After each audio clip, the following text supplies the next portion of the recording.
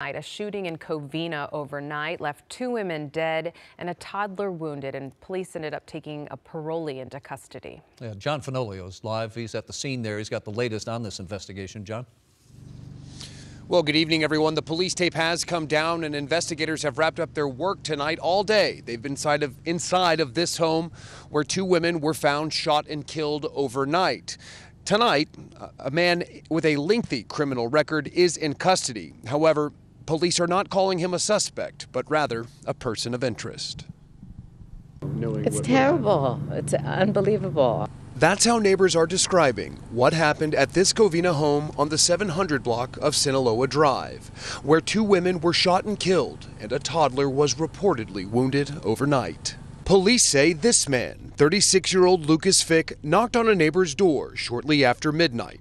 With him, a wounded two year old boy. Officers later said the child had been shot in the back. Investigators say Fick told the neighbor that, quote, something bad had happened and to call police. The neighbor who called 911 did not want to speak on camera, but did tell KTLA that Fick appeared nervous at the time.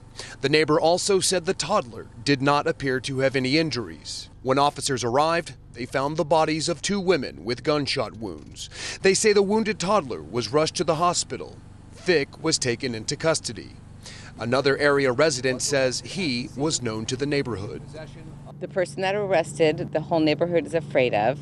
Candice Edwards says when detectives began asking about the people who lived at Fick's home, it's his mother and it's his girlfriend. She feared for the worst, but worried most about the little boy. Way awful and very sad, especially after you see the, the, the little boy was just priceless. Edward says the last time she saw the young boy and his mother was on Valentine's Day, a moment captured on her home security camera. And he saw me and ran up to me with the flower and said Happy Valentine's Day and reached out his arms and gave me a big hug.